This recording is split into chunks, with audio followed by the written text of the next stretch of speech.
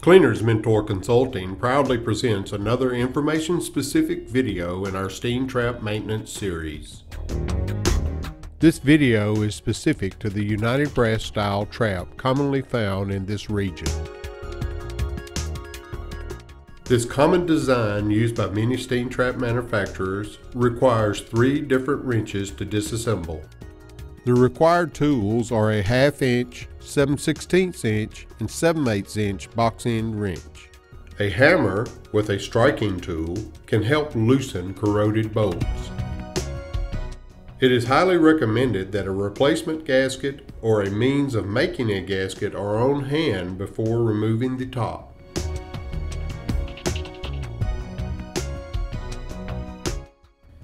Warning!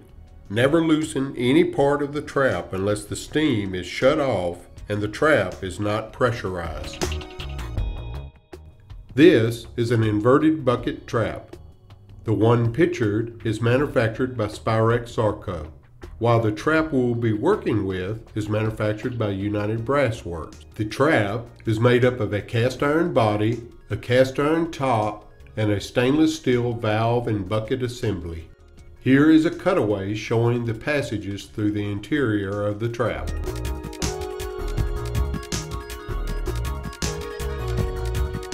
The top of the trap is bolted to the body with 5 16 inch diameter bolts. The bolts are screwed into the body.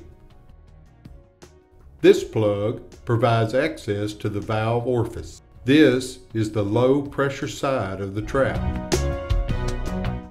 Warning, do not attempt any action presented in this video while the steam system to the trap is pressurized.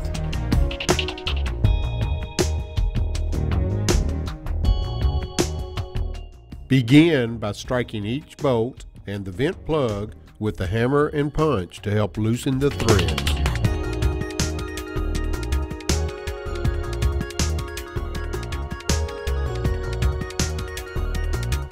First, the vent plug will be removed. This plug should be removed, Teflon tape applied, and reinstalled when the trap is first placed into service. This makes removal easier later.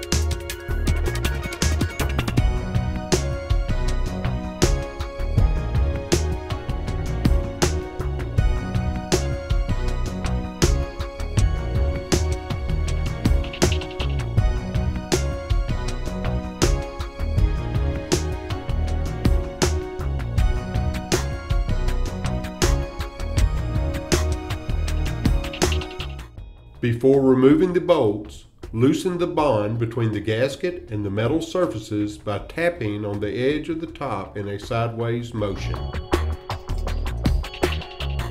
With all the bolts now removed, carefully lift the top while maneuvering it to free the bucket assembly from the body.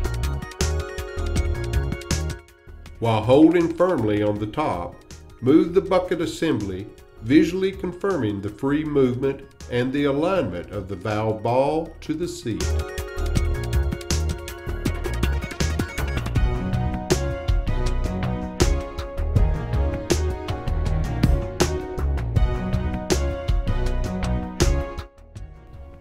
Inspect the hinge pin for wear.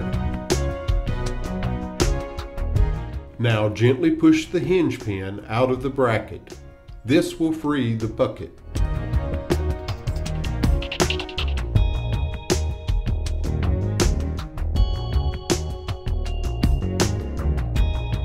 Take a close look at the ball portion of the valve.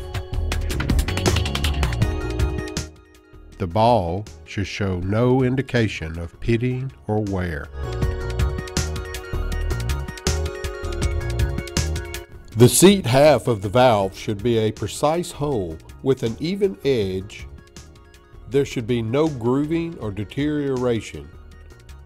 The hole should be free of any buildup of minerals or foreign debris.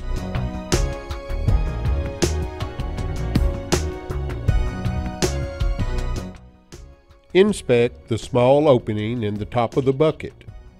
This trap has a small cotter pin inserted to prevent blockage.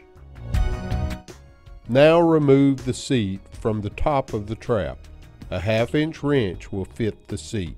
To support the top, invert it and bolt it to the body of the trap.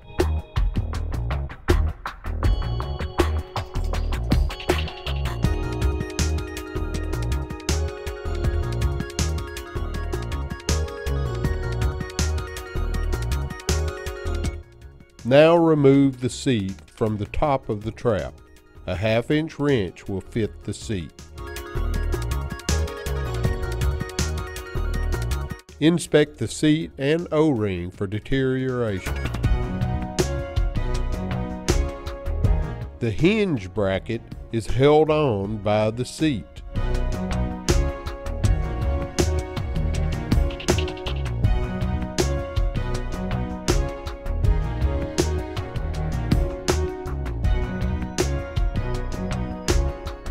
Note the shiny surface of the seat face.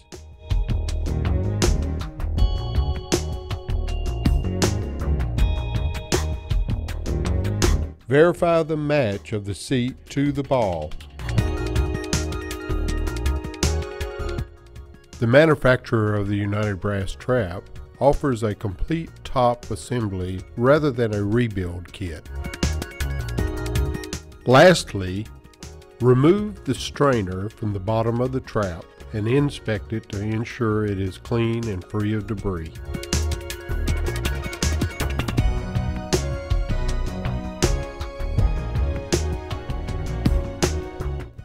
Before reassembling the trap, clean the interior of all debris. Teflon tape should be applied to the strainer and the plug to ensure easy removal.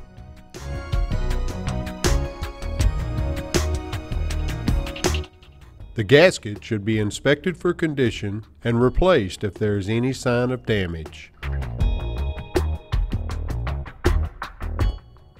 If the seat and ball of the valve are free of wear, they can be reinstalled. The bucket assembly is reinstalled on the top. Pay close attention to the hinge and the alignment of the seat and ball. The bolts holding the top should be tightened in a cross pattern. They should be hand tightened first, followed in increasing torque evenly with multiple passes. Questions or need parts? Contact Cleaners Mentor Consulting